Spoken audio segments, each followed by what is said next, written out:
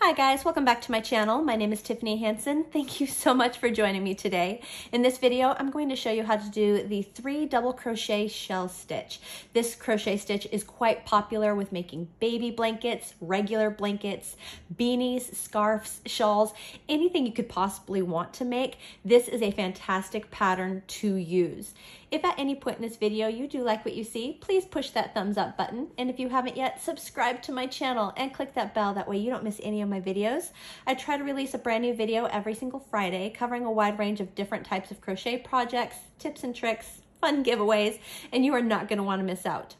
So this pattern is actually fantastic for literally any yarn size that you may want to use or any yarn type, which makes it a very versatile pattern. And I love this pattern, especially with bulky yarns like a size 5 bulky chunky or even a size 6 super bulky super chunky this pattern makes up a very quick blanket which is awesome especially for baby blankets because there's it's a solid pattern no holes it's a winner. All right so let's go ahead and get started when it comes to the, to the three double crochet shell pattern, there is a multiple stitch count requirement of a multiple of four.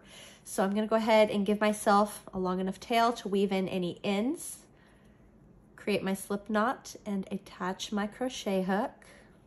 Perfect. All right, so multiple of four. So I'm just going to make a swatch just to show you how to do the pattern. One, two, three, four. One, two, three, four. One, two, three, four. And one, two, three, and four. Perfect. I'm just going to go ahead and make it small. That way we can get through this quickly. All right, so for row one, we're going to make our first double crochet stitch in the fourth chain from our crochet hook. So looking at our chains, one, two, three, four, double crochet, that chain three that we just skipped over does actually count as your very first double crochet stitch. Now for the rest of the pattern, we will skip one chain and single crochet in the next chain. Then skip one chain and make three double crochet stitches in the following chain. We dive right into the pattern. One, two, three. Then skip a chain, single crochet in the next chain, skip a chain, and three double crochet stitches in the following chain. One,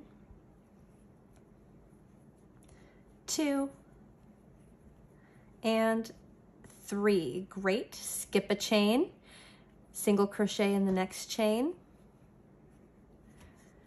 then skip a chain and in the very last chain here we are only making two double crochet stitches. Only two for the first and last to keep those sides straight. One and two. Perfect. Great. To move on to row two we will chain one we will turn our work. For row two, we will single crochet in the first stitch space right here. We will skip that next stitch, which is that double crochet stitch.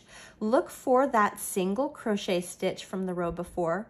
And in that single crochet stitch, we will make three double crochet stitches. One, two, three, skip the next stitch, single crochet in the following stitch, which will be the, the center second double crochet stitch right there. Then skip a stitch, find the single crochet stitch, and make three double crochet stitches in that single crochet stitch.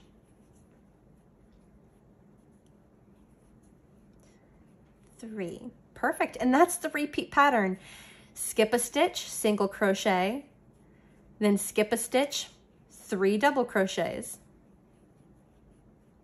One,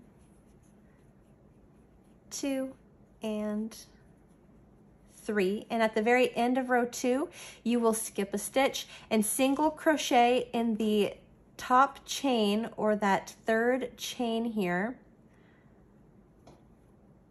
to close row two. Perfect. Let's move on to row three. For row three, we will chain three. One, two, three.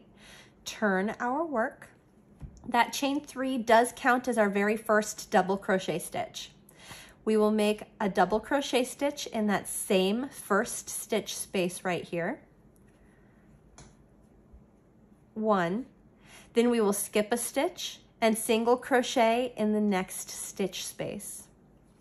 And then you know the pattern, skip a stitch, find the single crochet stitch and make three double crochet stitches. One, two, three, then skip a stitch and single crochet. Skip a stitch, three double crochet stitches, one, two, three, then skip a stitch, single crochet, and at the very end of row three, you will make two double crochet stitches in that last stitch space. One, two, and again, that just helps to make sure that the sides stay straight right there. Perfect. Now for the rest of this pattern, all you're doing is repeating row two, row three, row two, row three. That's all you're doing. And look how solid this pattern is. Isn't that great? It makes for such a perfect baby blanket or regular blanket for the winter. My favorite yarn to use for this pattern is a bulky sized yarn, so that way it really just works up super fast. Now, honestly, there in the pattern, there is no special instructions for the very last row. It does look fairly even, but if you really want to make the top of your blanket super even, here is something you can do. So chain one, turning the work. This, is, this would be a row two repeat. So I just finished a row three repeat. Gonna single crochet in the first stitch, skip the next stitch, and in that single crochet stitch, I'm gonna make three half double crochet stitches. So it'll add some height to fill in that gap, but not create anything higher than that. And then skip a stitch and single crochet, skip a stitch and three half double crochets. Now again, this is optional. It's just something that I noticed when I did, it made a flat top. So if you'd like to utilize that, go for it. If not, the top is, is fine by itself and you can put a border on that. If you choose, I often don't. I think the pattern itself looks great, but that's your choice. All right, this is the three double crochet pattern. I hope you enjoyed it. If you liked this tutorial, you might also like these other tutorials right here, which are more crochet patterns that you can check out. I hope you had fun. I always love crocheting with you. I hope you have the best day, and I will see you with my next video. Bye, guys.